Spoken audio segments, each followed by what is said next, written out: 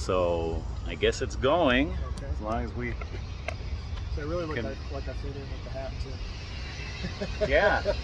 No one's gonna believe you when you say it. I mean. Yeah. So um, my name's Jeff. Mhm. What's your name? My name's Peter. Peter. Okay. So I don't know if I I'll let you bring out your profession Sure. if you want in the video. So my question that I give everybody is what do you think happens after this life? What do you think comes next? Ah, well, I, I think that uh, we go before God, who's a merciful judge, and uh, we are going to need to give an account of ourselves. Um, but God will take into account, you know, the, the difficulties we've had, the, the uh, disadvantages we've had, or whatever. Uh, but we'll have to be honest. We'll have to look at ourselves very clearly, and then we hope that uh, we'll be able to make amends for anything we've done wrong. And uh, our, our goal is to live forever with God Yeah. and the saints. Okay. I'm not. Sounds like so. Okay. I'm going to disclose. Can I tell? You certainly may. Okay. So uh, Peter told me uh, right before I turned on the camera that he's a Benedictine monk, That's correct. and uh, I know that the um, monastery that he you live there, right? That's correct. Yeah. And uh, correct me if I'm wrong. What's the like? So they have a a way of making money, right? Yes. Uh, mainly our money comes from fundraising, Okay. but we also uh, sell and deliver caskets that are made Okay, that's, that's I think I remember Linus telling me that. Yes, and, Yeah. and then we have a guest house for people who come church. Right.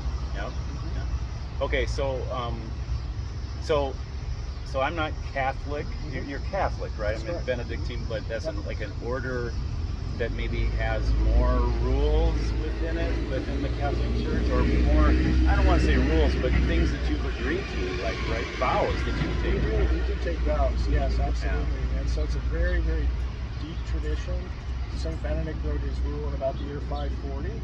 And so to enter into that long tradition, there are many things that monks have discovered over the centuries that are helpful for the kind of life we live. And so it's to our advantage to enter into that willingly and say, yes, I want to learn from the saints. I Yeah. want to learn how to live this life because it's not always easy. And so we want to take advantage of whatever wisdom there is in the tradition. That's largely been distilled into this rule that we follow, the rule of St. Benedict. Uh, but it's something we take on willingly because we, we want to pursue this, this particular Yeah, kind of life. for sure. Yeah. So so it wouldn't be something like you're being strict or like under under obligation or under. I mean, I would once say you've taken like the the vow. military. You know, Yeah. military is strict because if That's a good way to put your, it, Your yeah. brothers in the military count on you. You're in it together for a really important cause, and if someone's not serious about being a teammate, Yeah. then it's not going to work. It's not safe for everybody to enter into this project. So yes, uh, we're pretty strict, but it's because we're, we're serious about helping one another, Yeah. another That's a good way of understanding it. Yeah. So I know you said you there have very limited time. So I want to get to the um, the idea that okay, so after we die, Mhm. back to that question, we stand before God, we give an account. Now, would you say some people give an account and they end up in hell, and some in heaven? Mhm. So there is a a division. Yeah, let, let me say, uh, I, I hope not that, uh, that, that people end up in hell. I think we have to take seriously the possibility that we could say no to God, that we could actually harden our hearts in such a way. Yeah. Um, but in the end, we don't really know. Uh, you know, the, the church has not given a ruling that anybody. The, o- the only person we know went to hell is Christ himself. Oh, okay. And So- and uh, and then you said the people, some people may need to. I don't want to say penance. Uh-huh. That was the word you used. Yeah, we would word, use I a think. word like reparation. Reparations, so, uh, yeah. Justice, you know, to, to live the fullness of our life, to live a really flourishing human life, we have to learn to act justly toward other people. We all let each other down. Mhm. And when we do that, we have to make some kind of amends. And so once our life is over, we don't have time in this life to make amends. That's the time to finish that work. Yeah. Yeah. Um, so that's that's just a necessary part of growing into who justice. Yeah. Um, I want to make the most of our time. A lot of times, I'll I, I like to really kind of dig into people's beliefs and kind of ask questions.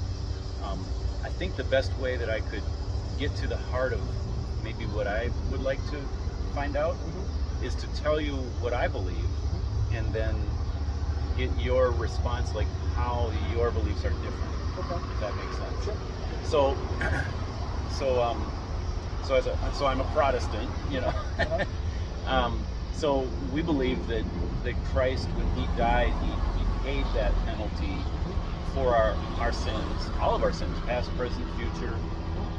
We could die at any time, and He's He's paid for that, and by putting our faith in Him and in what He's done, we're taking our maybe our faith away from maybe our good efforts and away from like trying to prove ourselves somehow or trying to even make reparations.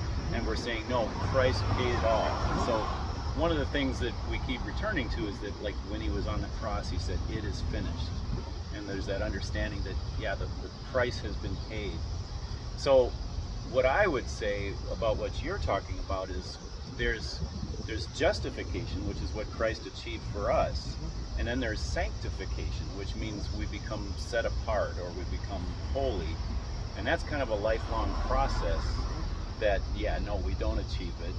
Um, but standing before God in heaven, He would, Christ would be our, our advocate, our, the one who stands in our place of, you know, like that God's justice does demand that there must be a punishment for our sin but Christ takes that punishment for us. Mm-hmm. So, as far as additional reparations or a price to be paid, yeah, I'm just, I guess what I'm not sure, and I've actually talked about this very recently, if you look on my YouTube channel a couple conversations back, but um, I, uh, but it was in Spanish, so I don't know if it's in Spanish. But, um, uh, so there's that idea of, um, what's it, purgatory, where a person is cleansed. And I and I understand that it's not that that is paying our our, our sin, paying for our sin. That that's what the, the church teaches. Christ did that, but somehow we're cleansed by the I guess the fires. I don't know if it's the physical fires of purgatory or the, the suffering. And and we we can.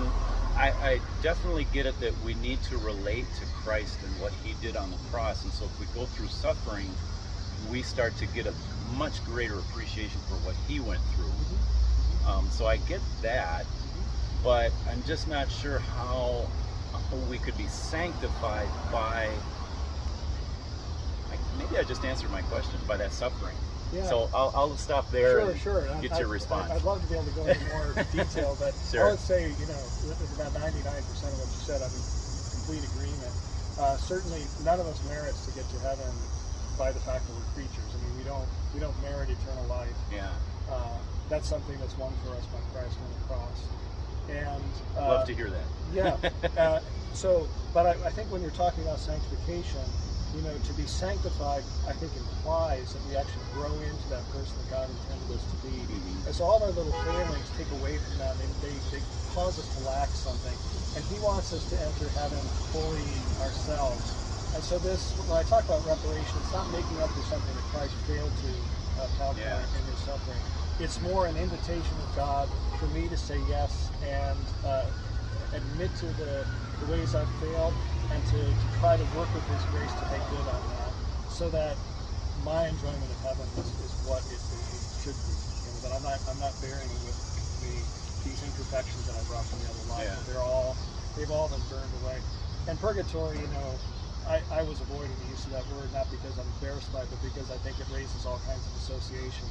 Yeah. So Especially for a to- Protestant. you Yes, know, yes. yeah. I wanted to use you know terminology that would be more Yeah. neutral, but that's that's basically what I, I'm talking about. And, you know what what that's actually going to entail. Again, we can only speak out metaphorically because none of us have been there yet. But I think we do experience it, like you said, when we willingly take on the suffering that we have Yeah. uh, in this life And the discipline. and the you've taken. discipline, we start to understand from inside, you know, how Christ redeemed us, how He said yes to His Father's will, that we can imitate and, say yes to His Father's will in whatever circumstances, this creates a, a, a very deep bond because Yeah. Christ really comes alive in us, and we're we are in a sense you know, joining our sufferings to His and, and reading picture, and He's He's uniting His divine life to ours. Yeah. So I'm, I'm sorry I have to wrap up, but uh, Sure. I, I have to go pray. Yeah. Yeah, it's like a set Yeah. time Five for fifteen. that? Yeah. Oh, okay. So All right, I respect that. I respect that. Thank you so All right, much. and um, here I'll give you my Okay. information. All right. So you're not like a vow, like vows of poverty and stuff like that, right? Um, we our, our vows include that. Um, we uh, so that means we're not allowed to own anything personally. You know, so you can use technology. That's, that's what I was getting at. Yeah, so, yeah. so you can Yeah, check that out. We have YouTube. All right. God bless Great, you, Peter. you. All right. Take care. Bye.